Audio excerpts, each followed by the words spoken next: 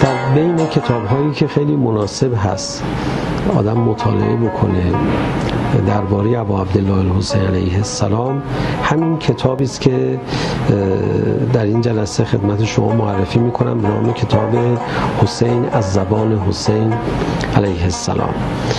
این کتاب به دلیل اینکه به سخنان خود ابا عبدالله الحسین علیه السلام می‌پردازه یک ذخیره و سرچشمه تمام ناشدنی و گواراست اشک ریختن با این کتاب یک اشک ریختن بسیار با معنا و بسیار عمیق خواهد بود. پیشنهاد جدی دارم برای جوانها که این کتاب رو محل مطالعه مکرر خودشون قرار بدن.